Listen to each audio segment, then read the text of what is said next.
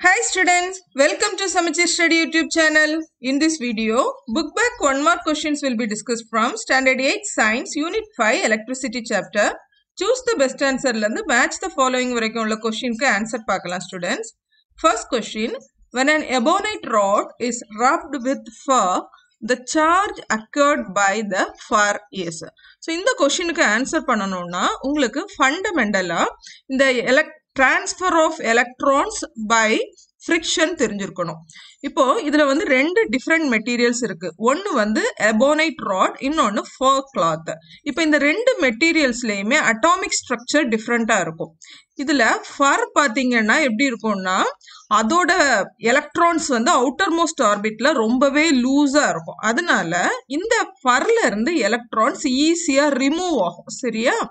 So fur has the property such that the outermost orbits are loosely bound as compared to the ebonite rod. So ebonite ராடை compare பண்ணும்போது ஃபர்ல உள்ள electrons ரொம்ப loose outer most ஆர்பிட்ல இருக்கிறதுனால அது வந்து ஈஸியா ebonite ராடுக்கு transfer ஆகும். நல்லா ஞாபகம் வச்சுக்கிடுங்க அது டிபெண்ட்ஸ் ஆன் டூ மெட்டீரியல்ஸ் சரியா? ஸோ ஃபர்ல இருந்து ஈஸியா எலக்ட்ரான்ஸ் ரிமூவ் ஆகும் அந்த எலக்ட்ரான்ஸ் எபோனைட் ராடுக்கு டிரான்ஸ்ஃபர் ஆகும். இப்போ என்ன ஆகுது? Ebonite rod has excess electrons and fur has deficiency of electrons நல்லா ஞாபகம் வச்சுக்கிடுங்க இங்க வந்து எங்கேயுமே பாசிட்டிவ் சார்ஜஸ் கூடுதலாக வரல. ஃபர்ல வந்து எலக்ட்ரான்ஸ் குறைவாக இருக்குது. அதாவது டிஃபிஷியன்சியாக இருக்கும். அதனால நம்ம என்ன சொல்லுவோம்? Charge acquired by the fur is பாசிட்டிவ்னு சொல்லுவோம். எபோனைட் ராட் இஸ் நெகட்டிவ்லி சார்ஜ்டுன்னு சொல்லுவோம். ஸோ இந்த மாதிரி கொஸ்டின் கேட்டால் நீங்கள் ஃபர்ஸ்ட் அப்சர்வ் பண்ண வேண்டியது எதுல இருந்து எதுக்கு எலக்ட்ரான்ஸ் டிரான்ஸ்ஃபர் ஆகுதுன்னு பாருங்க. சரியா? பர்ல இருந்து எபோனைட் ராடுக்கு எலக்ட்ரான்ஸ் டிரான்ஸ்ஃபர் ஆகுது. அதனால fur becomes positively charged. So in the question answer option B positive. Second question the electrification of two different bodies on rubbing is because of the transfer of நான் first கொஸ்டின்லயே explain பண்ணியிருந்தேன் இதுல வந்து ரப்பிங்னால electrification நடக்குதுன்னா friction transfer by ஃப்ரிக்ஷன்னு சொல்லுவோம் so இதுக்கு வந்து ஒரே ரீசன் என்னன்னா எலக்ட்ரான்ஸ் டிரான்ஸ்ஃபர் ஆகிறது தான் எந்த ஒரு ரீசன்லையும் உங்களுக்கு பாசிட்டிவ் சார்ஜஸ் வந்து அதிகமாக இருக்காது எலக்ட்ரான்ஸ் வந்து குறையிறதுனால தான் உங்களுக்கு positive and negatively charged bodies கிடைக்கும் அதனால எப்போவுமே electrification of two different bodies on rubbing is because of the transfer of electrons only. Next question. Which of the following a simple circuit must have? Students, page number 53ல உங்களுக்கு simple electric circuit கொடுத்துருக்குறாங்க. அதில் வந்து four components கொடுத்துருப்பாங்க. நார்மலாக எந்த ஒரு simple electric circuit இருந்தாலும் அதில் கண்டிப்பாக ஒரு சோர்ஸ் இருக்கணும். இந்த சோர்ஸ் ஆஃப் எலக்ட்ரிசிட்டிங்கிறது எந்த ஒரு எனர்ஜி சோர்ஸாகவும் இருக்கலாம். அல்லது ஒரு பேட்ரி சிம்பிளாக சொல்லலாம் நம்ம. அதுக்கு பிறகு பார்த்தீங்கன்னா கண்டிப்பாக கண்டக்டிங் வயர்ஸ் இருக்கணும். We know that without the closed path current cannot flow so உங்களுக்கு பாத் வேணும்னா அதில் கண்டக்டிங் வயர்ஸ் இருக்கணும்.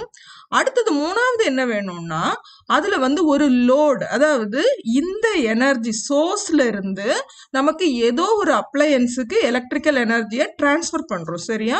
இப்போ ஒரு load it may be a lamp or resistor or your any electrical appliance so இந்த மூணும் இருந்துச்சுன்னா அதாவது ஒரு சோர்ஸ் ஒரு லோட் அதை கண்டக்ட் பண்ண அதை கனெக்ட் பண்ணக்கூடிய பாத் இவ்வளவும் இருந்துச்சுனாலே அது ஒரு சிம்பிள் எலக்ட்ரிக் சர்க்கியூட் அடிஷ்னலாக உங்களுக்கு ஒரு ஸ்விட்ச் இருந்துச்சுன்னு சொன்னால் கண்ட்ரோல் பண்ணலாம். சரியா?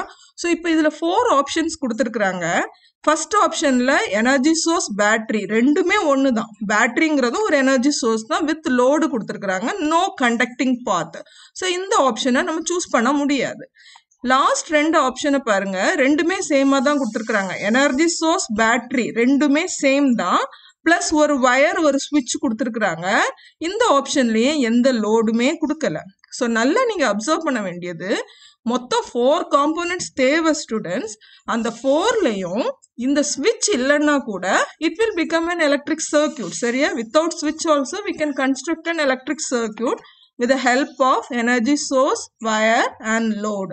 So in the question right answer the which of the following a simple circuit must have energy source wire load? So option b is the right answer. Next question. An electroscope has been charged by induction with the help of charged glass rod. The charge on an electroscope is so இந்த electroscope எப்படி work ஆகுங்கிறத நம்ம big கொஷினில் படிக்கலாம். ஜென்ரலாக சொல்கிறேன் இப்போது ஒரு கிளாஸ் ராடை வந்து சார்ஜ் பண்ணியிருக்கோம்னு சொல்லியிருக்கிறாங்க. இதில் எங்கேயுமே அந்த கிளாஸ் ராடில் என்ன சார்ஜ் இருக்கும்னு சொல்லலை. பட் நமக்கு வந்து ஃபர்ஸ்ட் இந்த transfer by ஃப்ரிக்ஷனில் transfer of charges in glass ராட்ல அந்த சில்க் கிளாத் கூட கிளாஸ் ராடு ரப் ஆகும்போது உங்களுக்கு பாசிட்டிவ் சார்ஜ் அக்வர் ஆகிறத கொடுத்துருப்பாங்க. அப்போ கிளாஸ் ராட்ல பாசிட்டிவ் சார்ஜ் இருக்குது. ஸோ இந்த பாசிட்டிவ் சார்ஜ் யூஸ் பண்ணி நீங்க எலக்ட்ரோஸ்கோப்ல டிடெக்ஷன் பண்ணீங்கன்னா எப்படி இருக்கும்? If you are bringing any positive charge material to the electroscope then இது இண்டக்ஷன்ல work ஆகுறதுனால charge and the electroscope is also positive electroscope நீங்க பிரின்சிபல் பார்த்தீங்கன்னா தெரியும். அதோட அப்பர் எண்டில் வந்து நெகட்டிவ் அதாவது டிஃப்ரெண்ட் சார்ஜஸ் அக்கர் ஆகும்.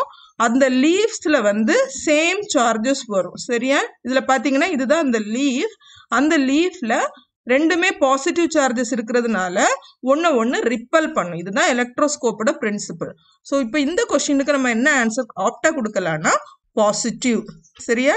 Electroscope has been charge by induction with the help of charged positive glass rod That's why the charge and the electroscope is positive. Next question a fuse எல்லாருக்குமே தெரியும் ஃபியூஸுங்கிறது ஒரு protective device சரியா? எல்லா வீடுகள்லையுமே maximum இந்த fuse இருக்கும்.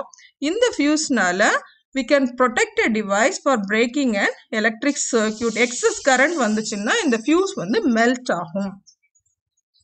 Next fill in the blanks dash takes place by rubbing objects together so இதுதான் நம்ம already பார்த்தோம். ரெண்டு ஆப்ஜெக்ட்ஸை ரப் பண்ணும்போது அங்கே டிரான்ஸ்ஃபர் ஆஃப் எலக்ட்ரான்ஸ் இருக்கும். எலக்ட்ரான்ஸ் டிரான்ஸ்ஃபர் ஆகுறதுனால தான் இந்த ஆப்ஜெக்ட்ஸ் வந்து பாசிட்டிவ் அண்ட் நெகட்டிவ் சார்ஜாக சேஞ்ச் ஆகும். Next question the body which has lost electrons becomes so ஒரு பாடியிலேருந்து எலக்ட்ரான்ஸ் ரிமூவ் ஆச்சுன்னு சொன்னால் அங்கே வந்து எலக்ட்ரான்ஸ் வந்து ரெடியூஸ் ஆகும். டிஃபிஷியன்சி ஆஃப் எலக்ட்ரான்ஸ் இருக்கும்.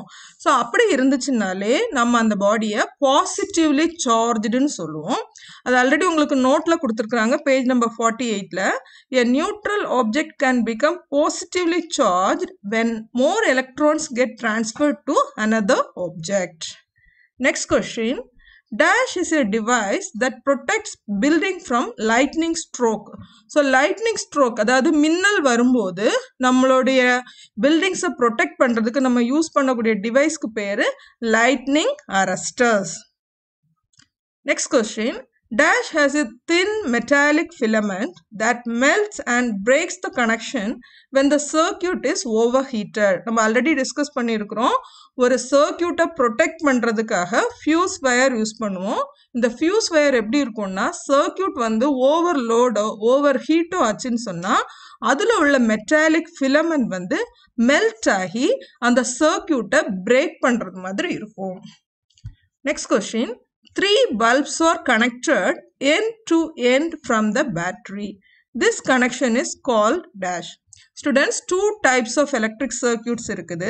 இப்போ ஒரு பல்பில் இருந்து அடுத்த bulb end to end connect பண்ணோம்னா அதோட நேம் வந்து சீரீஸ் சர்க்கியூட் நம்ம வீடுகளில் டெக்கரேட்டிவ் பர்பஸ்க்காக யூஸ் பண்ணக்கூடிய சீரியல் பல்ப்ஸை பார்த்தா தெரியும். அது என் டு எண்ட் கனெக்ட் பண்ணியிருப்பாங்க. So this connection is called series circuit next true or false questions. The charge occurred by an ebonite rod rubbed with a piece of flannel is negative. Students இந்த கொஷினுக்கு நம்ம answer பண்ணணும்னு சொன்னால் நம்ம ஃபர்ஸ்டே discuss பண்ணியிருந்தோம் ஃபர் with ebonite rod இதில் ஃபர்ல இருந்து எலக்ட்ரான்ஸ் வந்து ரிமூவ் ஆகும் சரியா? அப்போ ஃபர்ல எலக்ட்ரான்ஸ் ரிமூவ் ஆகும்போது it will become positive ebonite ராடில் எக்ஸஸாக எலக்ட்ரான்ஸ் அக்வர் ஆகும். அதாவது கூடுதல் எலக்ட்ரான்ஸ் எபோனைட் ராடுக்கு கிடைக்கும். அப்போ எபோனைட் ராட் என்ன சார்ஜ் ஆகும்? நெகட்டிவ் சார்ஜ் ஆகும்.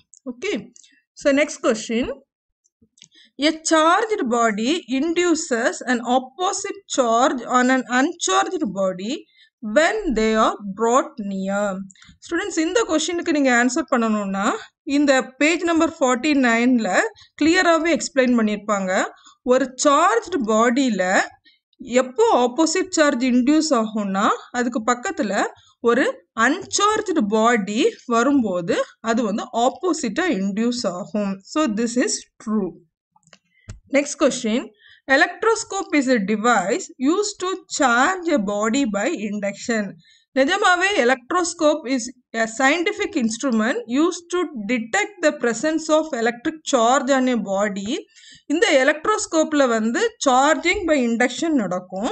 அதனால இதை ட்ரூன்னு எடுத்துக்கலாம்.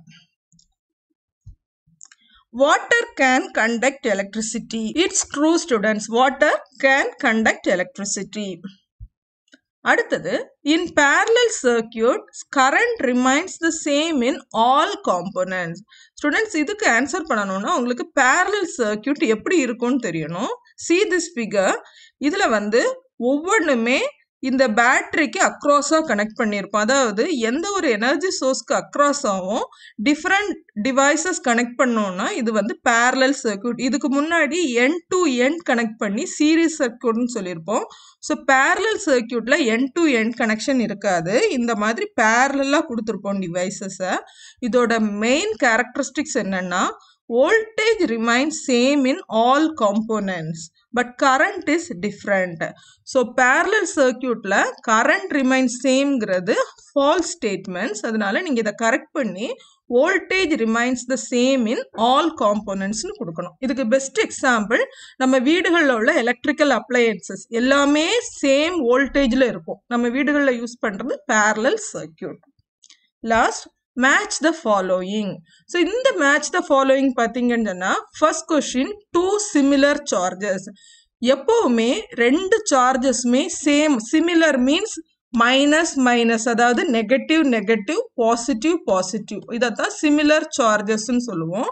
So two similar charges always repel each other ஒன்று ஒன்று தள்ளி விடும் two dissimilar சார்ஜஸ்னா plus minus positive negative dissimilar charges always attract each other so first கொஸ்டினுக்கும் second கொஸ்டினுக்கும் ஆன்சர் ரிப்பல் அண்ட் அட்ராக்ட் இதை வந்து கன்ஃபியூஸ் பண்ணாமல் கரெக்டாக நீங்கள் படிக்கணும். அடுத்து என்ன கேட்டிருக்காங்கன்னா when glass rod is rubbed with silk இதுவுமே டெக்ஸ்ட் புக்கில் எக்ஸாம்பிள் கொடுத்துருக்குறாங்க. நான் ஆல்ரெடி சொன்னது மாதிரி depending upon the characteristics of material ரெண்டு மெட்டீரியலுமே டிஃப்ரெண்ட் கேரக்டரிஸ்டிக்ஸ் இருக்கும் சரியா? ஸோ இதில் பார்த்தீங்கன்னா கிளாஸ் ராடும் சில்க்கும் வந்து நீங்கள் ரப் பண்ணீங்கன்னா சில்கில் வந்து என்ன ப்ராப்பர்ட்டி இருக்கும்னா இந்த எலக்ட்ரான்ஸை அட்ராக்ட் பண்ணும். கிளாஸ் ராட்ல இருந்து தான் எலக்ட்ரான்ஸ் ரிமூவ் ஆகி சில்க்குக்கு போகும். சரியா? அது வந்து அந்த மெட்டீரியல்ஸோட அவுட்டர் மோஸ்ட் ஆர்பிட்ல உள்ள எலக்ட்ரான்ஸை பொறுத்து இருக்கும். ஸோ கிளாஸும் சில்க்கும் நீங்கள் ரப் பண்ணீங்கன்னா கிளாஸ்ல இருந்து எலக்ட்ரான்ஸ் ரிமூவ் ஆகும். ஸோ கிளாஸ் வந்து becomes positive and silk will become negative charge அடுத்தது எபோனைட் ராடும் ஃபர்ரும் இதில் வந்து ஆப்போசிட்டாக இருக்கும். ஃபர்ல இருந்து எலக்ட்ரான்ஸ் ரிமூவ் ஆகும். Ebonite rod acquires more charge negative charge சரியா? ஸோ எபோனைட் ராடும் ஃபர்ரும் வரும்போது அதில் வந்து ebonite rod acquires negative charge so எந்த மெட்டீரியலில் நெகட்டிவ் சார்ஜ் வருங்கிறத கிளியராக படிச்சுக்கோங்க. Last question fuse fuse prevents circuit from over heating இது வந்து ஒரு protective device okay students hope you understand all these questions. If you like this video please subscribe and share it to your friends. Thank you so much for watching